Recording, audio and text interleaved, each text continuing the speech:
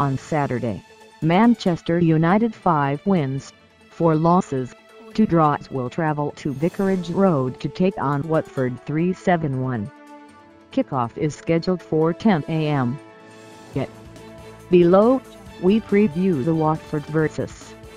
Manchester United odds and lines, and make our best EPL bets, picks and predictions.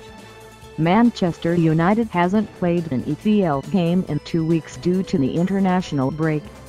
That said, the last time they took the pitch in the Manchester Derby, they were defeated 2-0. This will be a crucial match for them.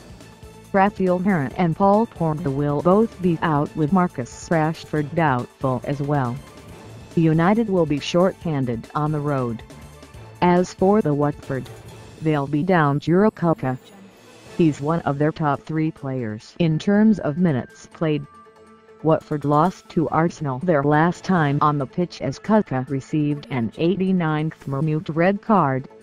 That said, despite being at home, they'll be underdogs in this one. And after the goal went in, the Watford fans turned their attention towards under-fire boss Ole Gunnar Solskjaer. The home fans could be heard chanting, Ole's at the wheel. Watford doubled their lead late on in the first half through Ismaila Sarr, who finished well past David de Gea. The Hornets have outmuscled the Red Devils, registering 11 shots to United's 2. Main man Cristiano Ronaldo has been largely anonymous, and Matic has failed to solve United's midfield woes.